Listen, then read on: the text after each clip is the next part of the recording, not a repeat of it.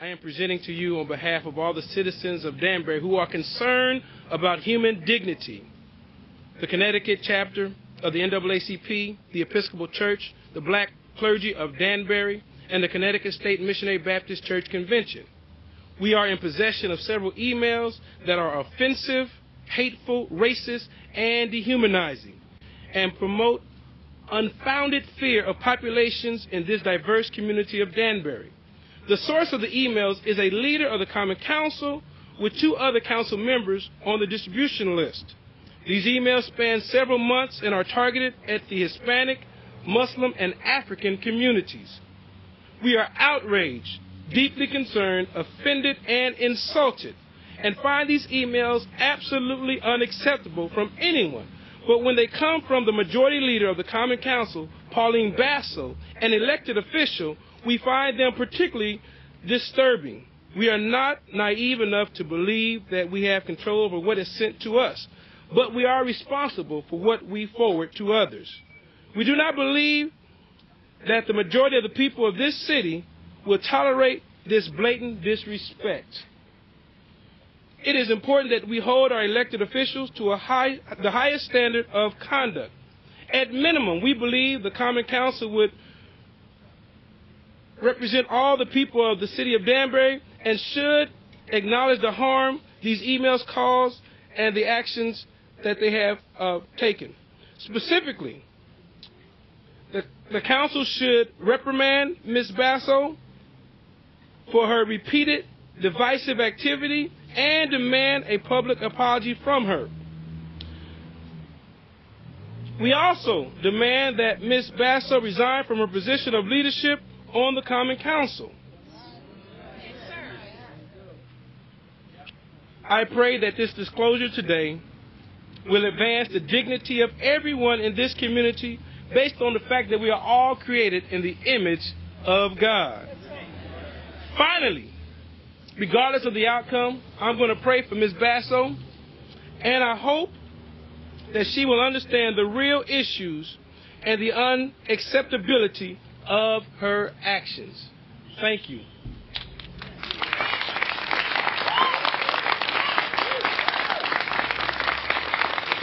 Now we'll hear a brief comment from the president of the um, Baptist State Convention, uh, the Reverend Dr. Boise Kimber.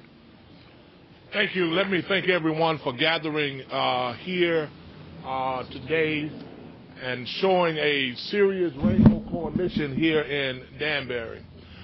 There is uh, no way that anyone who is representing public people should have an opportunity to serve the public with an attitude and disposition that has been shown thus far.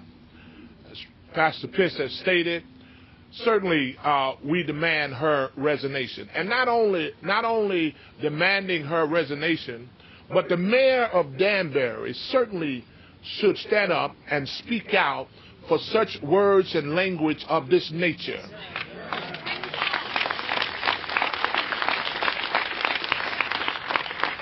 And if, and if this mayor cannot stand up for the community in which he serves, then maybe, then maybe there needs to be words said to him, and maybe there might need to be some actions with him, and maybe others who serve this community will not stand up and speak on behalf of this community.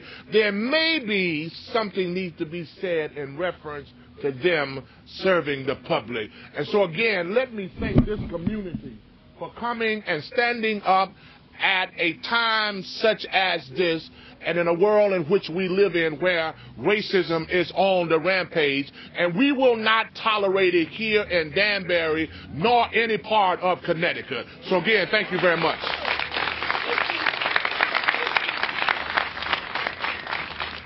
If there are any questions, we'll answer it at this time.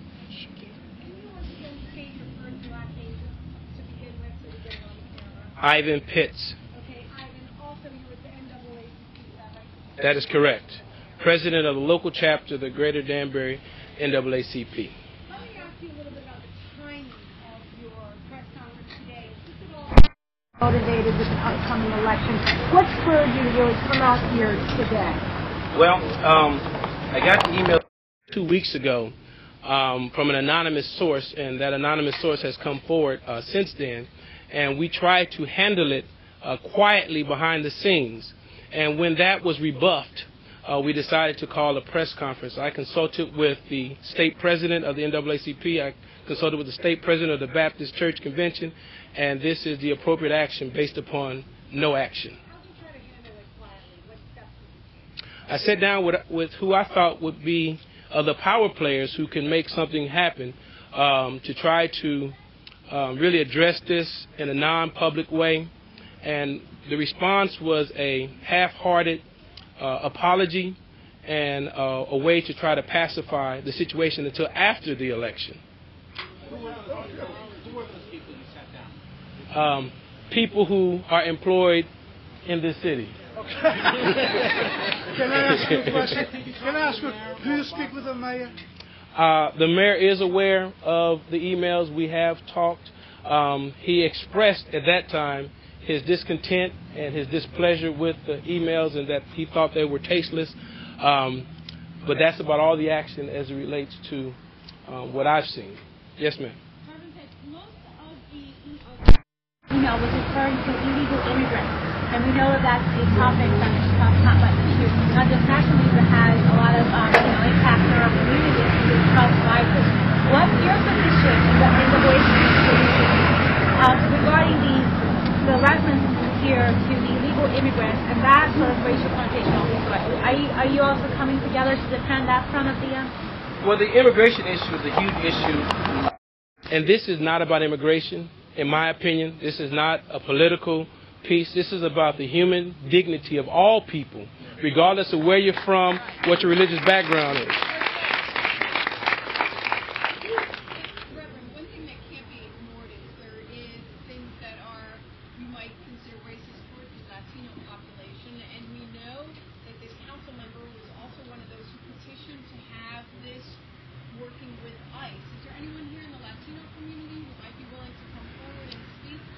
Uh, I don't know. Is there someone in the Latino community who wants to come forward and speak?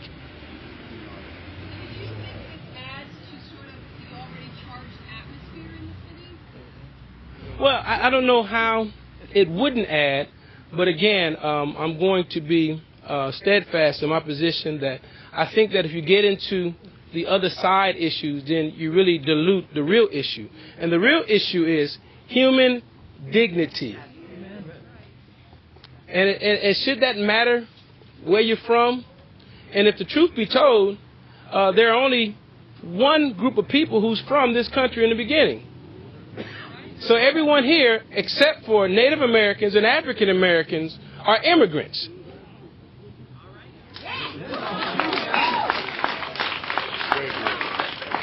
And many of them didn't come with paperwork.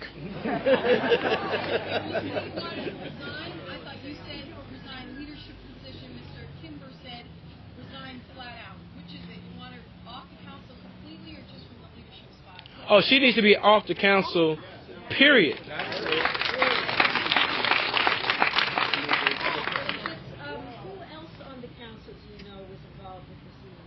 Well, there are other people who were recipients of the emails who are on the Common Council. However, I have no proof that they forward these emails on anyone, so therefore I am not at liberty to share their names.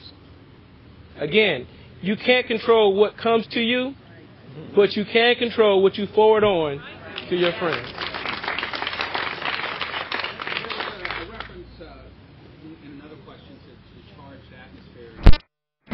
What, what is your impression of, the prevailing atmosphere in Danbury? Uh, there's a lot of immigration issues. There's been raised. How would you describe kind of the prevailing mood in Danbury in terms of politics? Well, I think that is a serious issue that we look at as a community and society, um, and that's really my answer. Uh, Reverend, I know you got an apology letter. Yes. Um, this woman, uh, her personally? No, I have not spoken with her personally. However, um, I have been contacted by many people um, from her constituency. Um, some who have even to some degree said that it was impossible for her to have sent those emails, and that's amazing because I had an apology. I'm not I'm not that smart, but it just didn't add up.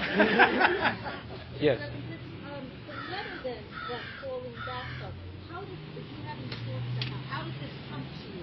And how did you all There was a hand delivered letter addressed to me um, that was delivered to the church. So I don't know who delivered it. It just said on the envelope, hand delivered, open. It was an apology. She must have known you had this, these emails. Yes. Several people were sent the emails uh, throughout the state of Connecticut. I was just one of the recipients. Actually, I have a question for Wilson. Wilson, Hernandez. Wilson, are you here Thank you. representing the Ecuadorian Civic Center, the Ecuadorian community, or? Well, I'm here as a citizen of Danbury. I'm, I'm insulted by those emails. I'm here as the brother of all these people.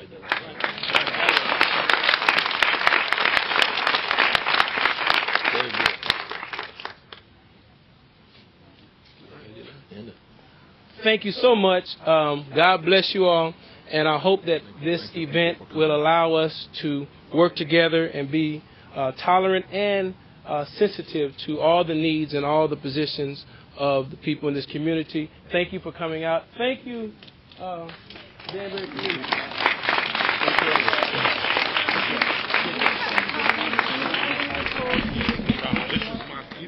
you.